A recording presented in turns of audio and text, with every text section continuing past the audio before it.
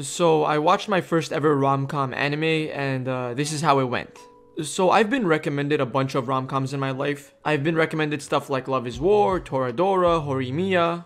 Actually, I think I even watched the first couple of episodes of Horimiya. I think like the first two episodes. It was okay. But there is a new rom-com anime that's coming out right now and it's extremely popular. Last week, I believe it even did better than Attack on Titan and Demon Slayer, which is literally insane. And I think this should tell you something about the anime community as a whole. The anime I sat down and watched was called My Dress Up Darling, and you probably all know what this is. You have most likely already seen the character in my thumbnail. Uh, the character goes by the name of Marin. She's basically the main female cast for this entire series. I'm gonna give you my thoughts, what I think about rom-com anime, and what I think about this specific anime. But listen, if you want more anime content like this, anime recommendations, manga recommendations, make sure you subscribe to my YouTube channel, turn on the post notification bell. Um, I upload anime content every single week, so you might not want to miss out. And also, if you turn on that post notification bell, when I upload, you will be notified so you can comment early. So, and when you comment early, I could reply. So there you go. So let's talk about the rom-com genre as a whole. I'm gonna be straight up. This is probably a hot take. I'm not a huge fan of rom-coms. I'm gonna be straight up.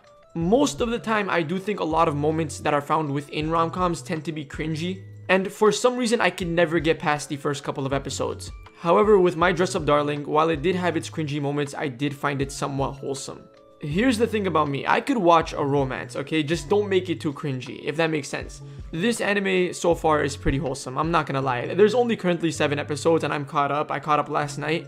I do wish they would ease off with the fan service. I'm not a, I'm not the biggest fan of fan service in any anime. I do understand why they're putting it there. They're, they know who their target market is. And I don't know if the anime would be as popular as it is without the fan service. So quick warning if you haven't watched the anime, um, there are a couple of fan service moments. There's not a lot, but there are a few. So what is My Dress Up Darling even about? I'm going to give you like a quick two second rundown.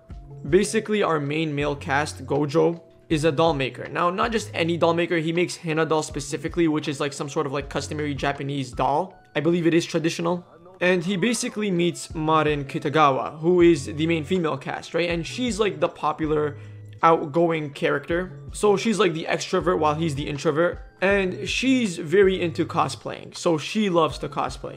And obviously, since Gojo makes dolls, he knows how to make clothing, in a sense, right? And they basically go from there, right? He starts making the clothes that she cosplays. Um, there's more to it, obviously, than that, but that's just a quick two second rundown. So, how do I feel about my dress up darling? I honestly think it's good. I'm gonna be straight up. It's enjoyable to watch, okay? It, it, has its wholesome moments. Like, for me, I'm a huge fan of Disney, and when Disney has wholesome moments, I really do appreciate them.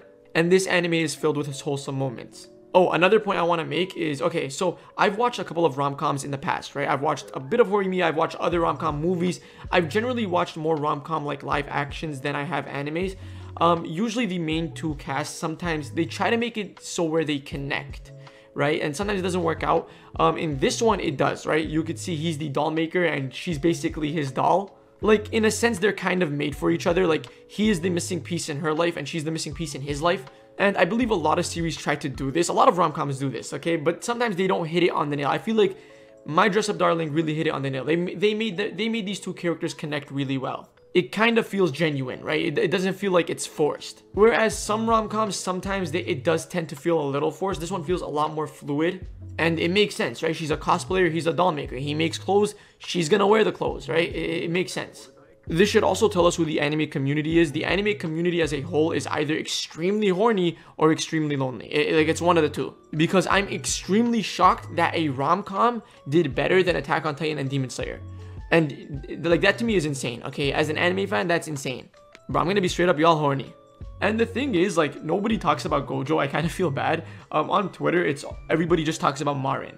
And I get it. You could clearly tell that this anime is targeted towards boys instead of girls. I, I girls could watch it, but it's you could tell it's targeted towards boys with the way the writing is handled.